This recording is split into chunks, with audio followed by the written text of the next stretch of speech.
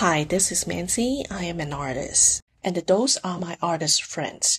We are the type of artists that want people to recognize us as artists by just looking at us.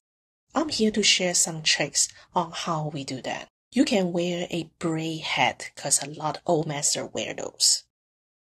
You can also wear some jewelry or symbol that represent art. Wear pants that have paint on, looks like you just paint at your studio.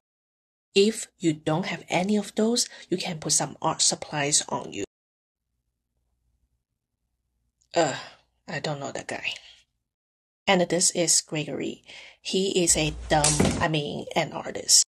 This is TJ. He is a photographer and he always carry his big camera everywhere because that's how people knows he is a photographer. This is Ashley. She is the sweetest girl on earth. She is an artist assistant, work for Gregory, sometimes me.